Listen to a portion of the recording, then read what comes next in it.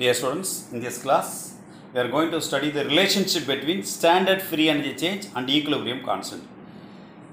கட்டில ஆற்றல் மாற்றம் சம வெப்பநிலை தொடர்பு வந்து பார்க்க போகிறோம் இப்போ வந்து கட்டில ஆற்றல் மாற்றம்ங்கிற என்னது?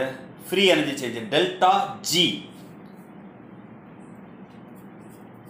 சமநிலை மாறிலிங்கிற என்னது? கே கே ஈக்குலிபிரியம் சமநிலைக்கு ஆங்கிலத்தில் ஈக்குலிபிரியம் ஈக்குங்கிற e கே ஈக்குன்னு போட்டிருக்கோம். அப்போ டெல்டா ஜிக்கும் கே ஈக்குக்கும் ஒரு ரிலேஷன் ஒரு தொடர்பு வந்து பார்க்க போகிறோம் இப்போ வந்து ஒரு ஈக்குவேஷன் ஒரு ஈக்குலிபிரியம் வந்து நம்ம கன்சிடர் பண்ணுறோம் ஒரு சமநிலையை வந்து நம்ம எடுத்துருக்கிறோம்.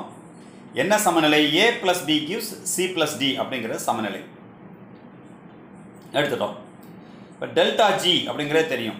Delta ஜிங்கிற change in Gibbs free energy Gibbs கட்டில் ஆற்றல் மாறுபாடு.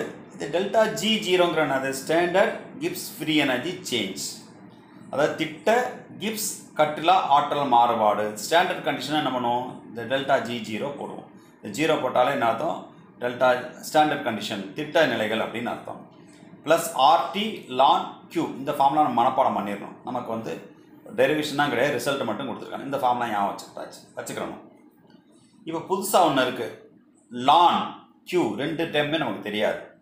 இந்த லான் அப்படிங்கிற பார்த்து பயப்பட வேண்டியது நம்ம சின்ன கிளாஸில் லாகிரதம் படிச்சிருக்கிறோம். லாகிறதுக்கு அடிமானம் பேஸ்னு ஒன்று படிச்சிருப்போம். இப்போது ஒரு லாகிறதுக்கு அடிமானம் பேஸ் ஈன்னு e போட்டால் என்ன சொல்லலாம்? லான் அப்படின்னு சொல்லலாம். எல்லான் அப்படின்னு சொல்லி சொல்லலாம். ஸோ இது தெரிஞ்சிருச்சு. இந்த க்யூ அப்படிங்கிறது என்ன அப்படின்னா இது பேர் வந்து ரியாக்ஷன் கோஷன் வினை குணகம் அப்படின்னு சொல்லி சொல்லுவோம். இந்த ரியாக்ஷன் கோஷன் வினை குணகம் அப்படிங்கிறது என்ன அப்படின்னா இது வந்து ஒரு ரிவர்சிபிள் ரியாக்ஷன் மீள் வினை. ஆனால் சமநிலை கிடையாது. என்ன சார் கன்ஃபியூஸ் பண்ணுறீங்க ரிவர்சிபிள் ரியாக்ஷன் வேற ஈக்குலிபிரியம் வேறையா? மீள் வினைகளும் சமநிலையும் வேற வேறனா ஆமாம் வேறு வேறு தான். ரெண்டுக்கும் இல்லை ஒற்றுமை என்ன அப்படின்னா ரிவர்சிபிள் ரியாக்ஷனாக இருந்தாலும் சரி ஈக்குலிபிரியமாக இருந்தாலும் சரி ரியாக்ஷன் ரெண்டு சைடில் நடக்கணும். A plus D you C plus D forward reaction முன்னோக்குனை நடக்கணும். Then C plus D gives A plus D B என்ன வினை நடக்கும்? பின்னோக்குனை நடக்கணும்.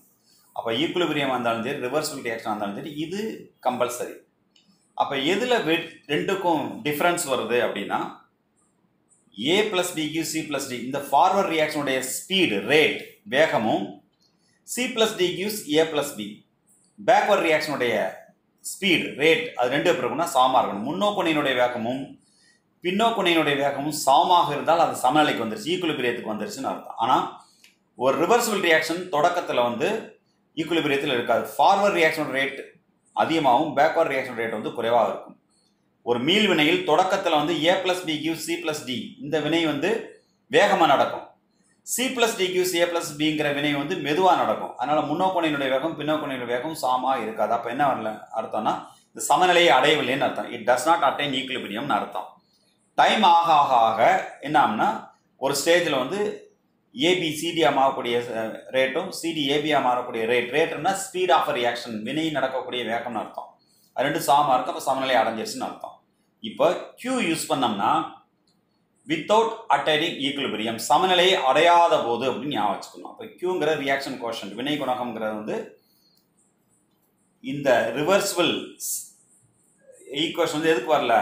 ஈக்குலிபிரியத்தை அட்டைன் பண்ணலன்னு அர்த்தம். ச மீள் வினையானது சமநிலையை அடையவில்லைன்னு அர்த்தம். ஓகே இப்போ கியூ எப்படி கண்டுபிடிக்கிறதுன்னு பார்க்க போகிறோம் கியூ எப்படி கண்டுபிடிக்கணும் எது ப்ராடக்ட்னு பாருங்கள் எது ப்ராடக்ட் சியும் டியும் அதனுடைய கான்சன்ட்ரேஷன் எந்த ஒரு ஸ்பீசிஸ்க்கு இந்த மாதிரி ஸ்கொயர் ப்ராக்கெட் போட்டால் அது எதை குறிக்கும்னா செறிவு கான்சன்ட்ரேஷனை குறிக்கும். So concentration of C concentration of D இது ரெண்டு என்னது ப்ராடக்டோடைய கான்சன்ட்ரேஷன் வினை விளைபொருளுடைய செறிவு. அது ரெண்டு என்ன பெருக்கியிருக்கோம். இங்கே ப்ளஸ் இருக்குன்றாங்க இங்கே ப்ளஸ் போட்டக்கூடாது மல்டிப்ளை பண்ணியிருக்கோம். ஏபிங்கிற என்னது? வினை படுபொருள். ரியாக்டண்டோடைய கான்சன்ட்ரேஷன் அப்போ கியூங்கிற என்ன பண்ணியிருக்கோம்? ப்ராடக்டோடைய கான்சன்ட்ரேஷனையும் ரியாக்டனுடைய கான்சன்ட்ரேஷனையும் நான் டிவைட் பண்ணியிருக்கோம். ப்ராடக்ட் இது என்ன பண்ணியிருக்கோம்? ரெண்டையும் மல்டிப்ளை பண்ணிட்டு டிவைட் பண்ணணும். இட் இஸ் ரேஷியோ எப்போ ரேஷியோ சொல்லுவோம்? ரெண்டு இதை டிவைட் பண்ணாலும் ரேஷியோ சொல்லுவோம் is ratio of product of ப்ராடக்ட்ங்க எதை குறிக்குது? பெருக்கிறத குறிக்குது. ப்ராடக்ட் ஆஃப் எதை பெருக்கிருக்கோம் concentrations of the products to the product of பெருக்கிறோம். The product of concentrations of the reactants ப்ராடக்டோட கான்சன்ட்ரேஷனை மல்டிப்ளை பண்ணி வச்சாங்க. ரியாக்டோட கான்சன்ட்ரேஷன்ஸை மல்டிப்ளை பண்ணி வச்சாங்க. அதுதான் மல்டிப்ளை பண்ணாதான் ப்ராடக்ட்னு சொல்கிறோம் ரெண்டையும் டிவைட் பண்ணுங்க. அதான் என்னது? கியூ வினை விளைபொருளின் செறிவை பெருக்கிறணும் வினைப்படு பொருளுடைய செறிவை பெருக்கிறணும் ரெண்டே வகுத்தரணும் அதான் அது வினை குணகங்கிறது அப்போ ratio of concentration of products வந்துருச்சா? Concentration of products to concentration of reactants before attaining equilibrium நான் ஏற்கனவே இந்த கண்டிஷன் சொன்னோம். ஈக்குவலிபிரியம் அட்டைன் பண்ணுறதுக்கு முன்னாடின்னு சொல்லி சொன்னோம். சமநிலை அடையும் முன்பு வினை விளைபொருள்களின் செறிவிற்கும் வினைப்படு பொருளின் செறிவுக்கும் செறிவுகளின் பெருக்கல் பலனுக்கும் உள்ள விகிதம். சமநிலை அடையிறதுக்கு முன்னாடி வினை விளைபொருளின் செறிவுகளின் பெருக்கல் பலன் வினைப்படு செயல்கள் பெருக்கல் பலன் இவற்றுக்கிடையே உள்ள வீதத்தை நான் சொல்ல வினைக்கடகம் சொல்கிறோம் அப்போ இவ்வளவு எதுக்கு எக்ஸ்பிளைன் பண்ணியிருக்கோம் இது ஒரு விஷயத்தை பார்த்துருக்கோம் delta G equal to delta G zero plus RT ln Q R gas constant வாயு மாறிலி தெரியும். டீங்கிற டெம்பரேச்சர் வெப்பநிலை தெரியும். லான் என்ன சொல்லியிருக்கோம் logarithm to the base e அதுக்கு பண்ணியிருக்கோம்? லான்னு சொல்லியிருக்கிறோம். அடுத்து கியூ கியூனா என்னன்னு பார்த்துட்டோம். அடுத்து ஆஃப்டர் அப்டைனிங் தி ஈக்குலிபிரியம் இப்போ எங்கே வந்துருச்சு? சமநிலையை அடைஞ்சிருச்சு. இதுக்கு முன்னாடி இந்த தமிழ் மொழி ஒரு தடவை சொல்லலாம். சமநிலை அடையும் முன்பு வினைவிளை பொருளின் சேர்விற்கும் வினைபடு பொருளின் செ- பெருக்கல் பலனுக்கும் உள்ள விகிதம். வினை விளைபொருள்களின் செறிவுகளின் பெருக்கல் பலன் போடும். செறிவுகளின் பெருக்கல் பலனுக்கும். வினைப்படு பொருள்களின் வினைப்படு பொருள்களின் செறிவுகளின் பெருக்கல் பலனுக்கும் உள்ள விகிதம். மேலே வினை விளைபொருள் வரும் கீழே என்ன வரும் வினைப்படு படுபொருள்கள் வரும். சரி இப்போ இந்த அமைப்பு வந்து ஈக்குலிபிரியத்துக்கு வந்துருச்சு. ஏற்கனவே சொன்னோம். முதல்ல ஈக்குலிபிரியத்துக்கு வராது சமநிலைக்கு வராது. இப்போ எங்கே வந்துருச்சு? சமநிலைக்கு வந்துருச்சு. சரி சமநிலை வந்தால் இனிமேல் கியூ வந்து என்ன சொல்லணும்? கே ஈக்குன்னு சொல்லணும். இங்கே வந்தாச்சு ஈக்குலிபிரியத்தை அட்டைன்மெண்ட்டாக அந்த கியூக்கு நேம் என்ன வந்துடும் K EQ K means constant ஈக்குலிபிரியனால இது வந்து ஈக்குலிபிரியம் கான்ஸ்டன்ட் சமநிலை மாறிலின்னு சொல்லணும். சமநிலை மாறிலி.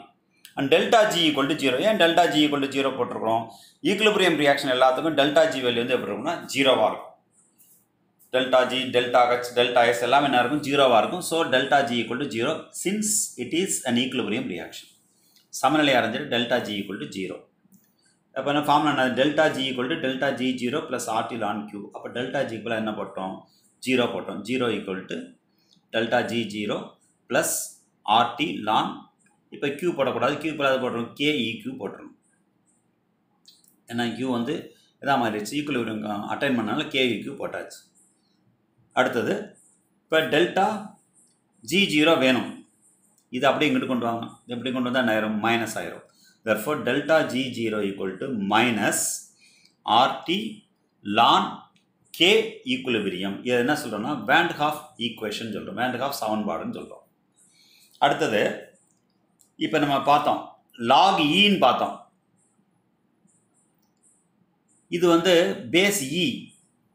நம்ம யூஸ் பண்ணுறப்பறம் என்ன என்ன log to the base ten use பண்ணி இதுதான் நேச்சுரல் ஆகிறதும் இயற் இயல் மடக்கைன்னு சொல்லுவோம். நம்ம யூஸ் பண்ணுறதெல்லாம் logarithm to the base ten ஆனால் நம்ம இங்கே என்ன இருக்குது logarithm to the base e இருக்குது logarithm to base e logarithm to base டென்னாக மாற்றுறதுக்கு டூ பாயிண்ட் த்ரீ நாட் த்ரீனால மல்டிப்ளை பண்ணும். So two point three nought three போட்டோம். ஆல்ரெடி என்ன இருக்குது ஆர் இருக்குது டி இருக்குது இனிமேல் லான் போடக்கூடாது. லாகன் போடணும். ஏன்னா டு தி பேஸ் டென்னாக மாற்றிட்டோம் லாகன் போட்டால் என்ன அர்த்தம் பேஸ் டென்னு தான் அர்த்தம்.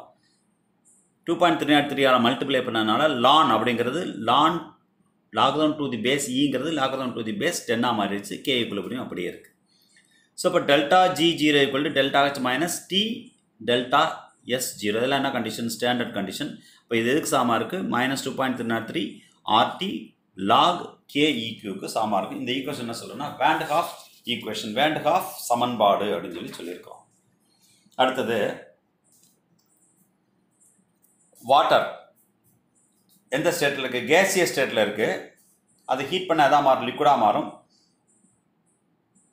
அதை கூல் பண்ணால் சாரி கேஸை கூல் பண்ணால் லிக்விடாக மாறும். அதை கூல் பண்ண எதாக மாறும்? சாலிடாக மாறும். இப்போ கேசியஸ் ஸ்டேட் வந்து லிக்விட் ஸ்டேட் லிக்விட் ஸ்டேட் வந்து சாலிட் ஸ்டேட் வாயு நீர்வமாக மாறுது நீர்வம் வந்து திண்மமாக மாறுது. இப்படி போகும்போது என்ட்ரோபி குறையும். என்ட்ரோபி டிக்ரீசஸ்ன்னு சொல்லி ஏற்கனவே பார்த்துருக்கோம். இதெல்லாம் பழைய கிளாஸ்லேயே பார்த்தது. Solid to liquid liquid to கேஸ்னா entropy கூடும். Gas to liquid liquid to சாலிட்னா entropy வந்து குறையும். பிகாஸ் தி டிஸார்டர்னஸ் டிக்ரீசஸ் ஒழுங்கற்ற தன்மை குறைகிறது அப்படிங்கிறதுனால இதை ஞாபகம் வச்சுக்கணும். இதை அடிப்படை வச்சுட்டு இப்போ இங்கே பார்க்க போகிறோம் தேர்ட் ஆஃப் தெர்மோடைனமிக்ஸ் வெப்ப இயக்கவியல் மூன்றாம் விதி வந்து பார்க்க போகிறோம் it states that entropy of pure crystal substance at absolute zero is zero அதாவது ஒரு சப்ஸ்டன்ஸ் எடுத்துருக்கோம் அது என்ன பியூர் கிறிஸ்டலின் சப்ஸ்டன்ஸை எடுத்துக்கணும். கிறிஸ்டலாக இருக்கணும் பியூராக இருக்கணும். அது என்னுடைய என்ட்ரோபி மெஷர் பண்ண போகிறோம் எப்போ மெஷர் பண்ண போகிறோம் அட் அப்சல்யூட் ஜீரோ அதுக்கு வேல்யூ கண்டுபிடிச்சு பார்த்தோன்னா அது ஏக்கு சமமாக இருக்குன்னா ஜீரோக்கு சமமாக இருக்கும். ஏதோ zero zero zero is zero அப்படிலாம் பார்த்து பயந்துடக்கூடாது என்ன கண்டுபிடிக்க போகிறோம் என்ட்ரோபி கண்டுபிடிக்க போகிறோம் எது கண்டுபிடிக்க போகிறோம் ஒரு பியோர் கிறிஸ்டல் சப்ஸ்டன்ஸ் கண்டுபிடிக்க போகிறோம் எந்த டெம்பரேச்சரில் கண்டுபிடிக்க போகிறோம் அப்சல்யூட் டெம்பரேச்சர் அப்சல்யூட் ஜீரோவில் கண்டுபிடிக்க போகிறோம் அப்படி கண்டுபிடிச்சு பார்த்தா அதோட வேல்யூ என்ன இருக்கும்? ஜீரோவுக்கு சமமாக இருக்கும். So it states that entropy of pure crystalline substance at absolute zero is zero அடுத்தது it is impossible to lower the temperature of an object to absolute zero in a finite number of steps இங்கே என்ன சொல்லியிருக்கோம்னா ஒரு இடத்துல டெம்பரேச்சரை வந்து absolute ஜீரோக்கு கீழே கொண்டு போக முடியாது. எத்தனை ஸ்டெப் யூஸ் பண்ணாலும் அப்சல்யூட் ஜீரோக்கு கீழே கொண்டு போக முடியாது. ஏன்னா even reaching absolute temperature itself is difficult absolute zero itself difficult அதாவது தனிச்சுழி எப்படின்னு சொல்லுவோம். ஜீரோ கல்வின் ரீச் பண்ணுறதே கஷ்டம். ஜீரோ கல்வின் ரீச் பண்ணுறதே கஷ்டங்கும் போது அதை காட்டிலையும் கீழே ஒரு டெம்பரேச்சர் வந்து நம்ம என்ன செய்ய முடியாது? கொண்டு போக முடியாது. So it is impossible to lower temperature of an object to absolute zero in finite number of steps அதனால் நம்ம என்ன பண்ண முடியாதுன்னா அப்சல்யூட் ஜீரோவுக்கு வந்து அப்சல்யூட் ஜீரோக்கு கீழே டெம்பரேச்சரை வந்து கொண்டு போக முடியாது. தனி பூஜ்ய வெப்பநிலையில் இதுக்கு சொல்கிறோம் ஸ்டேட்மெண்ட் சொல்கிறோம் தமிழில். தனி பூஜ்ய வெப்பநிலையில் எந்த ஒரு குறைபாடற்ற படிகம் அதனால் குறைபாடற்ற படிகம் பெர்ஃபெக்ட் கிறிஸ்டல் அப்படின்னு சொல்லுவோம். அதுக்கு ஆப்போசிட்னா அது இம்பெர்ஃபெக்ட் கிறிஸ்டல் இம்பெர்ஃபெக்ட் கிறிஸ்டல் அப்படிங்கிற என்னன்னா ஒரு கிறிஸ்டலில் வந்து சில டிஃபிகல்ட்டிஸ் சில ட்ராபேக்ஸ் வந்து இருக்கும். சில குறைபாடுகள் வந்து இருக்கும். இம்பெர்ஃபெக்ஷன் சொல்லுவோம். அது அடுத்த வருஷம் டுவெல்த்து ஸ்டாண்டர்டில் வந்து நீங்கள் படிப்பீங்க. கிறிஸ்டல் டிஃபெக்ஷன் படிப்பீங்க. அது மாதிரி டிஃபெக்ட் இருக்கக்கூடிய கிறிஸ்டல் அது இருக்கக்கூடாது. டிஃபெக்ட் இல்லாமல் பெர்ஃபெக்டான கிறிஸ்டலாக இருக்கணும். ஒரு குறைபாடு அற்ற படிகத்தினுடைய என்ற மதிப்பு பூஜ்ஜியமாகும். இப்போ தனி பூஜ்ஜிய வெப்பநிலையில் ஒரு குறைபாடற்ற படையத்தின் என்ட்ரோபி மதிப்பு பூஜ்ஜியம் ஆகும் ஒரு குறிப்பிட்ட எண்ணிக்கையிலான படிகளில் ஒரு பொருளின் வெப்பநிலையை தனி பூஜ்ஜிய வெப்பநிலைக்கு குறைக்க இயலாது. எங்கே கொண்டு வரணும் டெம்பரேச்சரை வந்து ஜீரோ கெல்வினுக்கு ரீச் பண்ண முடியாது. ஜீரோ கெல்வினுக்கு ரீச் பண்ண முடியாதுன்னா அது கீழே வந்து கட்டாயமாக ரீச் பண்ண முடியாது. So it is very difficult to reach the temperature of absolute zero தனி சுழி வெப்பநிலையை நம்ம அடைவது எத்தனை ஸ்டெப் நடத்தினாலும் கடினம் அப்படின்னு சொல்ல போகிறோம் limit T tends to zero S equal to zero அதாவது அப்படி. டெம்பரேச்சர் வந்து அப்சல்யூட் டெம்பரேச்சர் ஜீரோவாக இருந்தால் அந்த சப்ஸ்டன்ஸோட என்ட்ரோபி என்ன இருக்குன்னா ஜீரோவாக இருக்கும்னு சொல்லியிருக்கோம். ஏன்னா அப்சல்யூட் டெம்பரேச்சர் வரும்போது அப்சல்யூட் ஜீரோ வரும்போது இந்த volume itself becomes zero தனிச்சுழி எப்படினா ஜீரோ கல்லில் எந்த ஒரு கேஸாக இருந்தாலும் அதோட வால்யூமே ஜீரோ ஆயிரும். வால்யூம் ஜீரோனால என்ன செய்யாது வந்து வால்யூம்ங்கிற என்னது? அது ஃப்ரீயாக எவ்வளோ ஸ்பேஸ் ஆக்குப்பை பண்ணுது? எவ்வளோ நகருதுங்கிறது? தான் இங்கே என்ன நம்முடைய நகரவே முடியாது. அப்போ என்ன இருக்காதுன்னா என்ட்ரோபி வந்து இருக்காது. அப்போ அப்சல்யூட் ஜீரோவில் தனிச்சுழி வெப்பநிலையில் என்ட்ரோபி வேல்யூனாக இருக்கும்? பூஜ்ஜியமாக இருக்கும். ஃபார் இம்பெர்ஃபெக்ட் ரிசல்ட்ஸ் நம்ம ஏற்கனவே சொல்லியிருக்கோம். சில டிஃபெக்ட்ஸ் இருக்குன்னு சொல்லி பார்த்தோம். டுவெல்த்தில் படிப்போம்னு சொல்லியிருக்கோம். அது மாதிரி குறைபாடு உள்ள படையங்களாக இருந்தால் என்ட்ரோபி எப்போ இருக்குன்னா கிரேட்டர் தன் ஜீரோவாக இருக்கும். ஜீரோ கழிவுனா இருந்தால் கூட ஜீரோ கழிவு ஹைப்பத்தட்டிக்கல் அது வேறு விஷயம். ஜீரோ கழிவுனா இருந்தால் இங்கே சொல்லியிருக்கோம்ல ஜீரோ கல்வின் இருந்தால் என்ட்ரோபி ஜீரோ இருக்கும்னு சொல்லி சொல்லியிருக்கோம். பட் இம்பெர்ஃபெக்ட் ரிசல்ட்ஸ் அதாவது குறைபாடுள்ள படியங்களாக இருந்துச்சு அப்படின்னா ஜீரோ கழிவு இருந்தால் கூட அந்த இம்பெர்ஃபெக்ட் ரிசல்ட்ஸ்க்கு என்னன்னா எஸ் ஜீரோ வேல்யூ வந்து என்ட்ரோபியில் வந்து ஜீரோ கடலே அதிகமாக இருக்கும். ஸோ குறைபாடுள்ள படியங்களுக்கு என்ட்ரோபி மதிப்பு வந்து பூஜ்ஜியத்தை விட அதிகமாக இருக்கும். எந்த பின்னலில் கூட ஜீரோ கல்லில் கூட அது வந்து அதிகமாக இருக்கும். Absolute entropy can never be negative entropy எப்படி இருக்க முடியாது? நெகட்டிவாக இருக்க முடியாது. ஏன் முடியாதுன்னா ஜீரோ கொண்டு வரதே கஷ்டம். ஜீரோ கெல்வின் கீழே போனால் தான் என்ன வரும்? என்ட்ரோபி வந்து நெகட்டிவாக வரும். ஸோ அதனால் ஜீரோ கெல்வினுக்கு கீழே போக முடியாதனால ஜீரோ கெல்வின் தான் என்ட்ரோபி என்ன சொல்லியிருக்கோம்? ஜீரோன்னு சொல்லியிருக்கோம். ஜீரோ கெல்வினுக்கு கீழே போக முடியாது. அப்போ என்ட்ரோபி எதுக்கு கீழே போகாதுன்னா நெகட்டிவ் ஜீரோ கீழே போனால் value negative value so absolute entropy can never be negative தனி என்ட்ரோபி எப்போதும் எதிர்க்குறி மதிப்பை பெறாது. ஏன் பெறாது? ஜீரோ கெல்வினில் வந்தால் எஸ் ஈக்குவல் டு ஜீரோ வரும். ஜீரோ கெல்வினே வராது. ஜீரோ கெல்வின் கீழே போனால் தான் எஸ் ஜீரோ கீழே போய் நெகட்டிவாக வரும். இதுவே ரீச் பண்ண முடியாது. அதனால் அதுக்கு கீழேயும் டெம்பரேச்சர் போக முடியாதனால என்ட்ரோபி வேல்யூ வந்து என்ன ஆகாதுன்னா நெகட்டிவ் வேல்யூ வந்து வராது. தனி என்ற மதிப்பு எப்பொழுதும் எதிர்க்குறி மதிப்பை அடையாது. தேங்க்யூ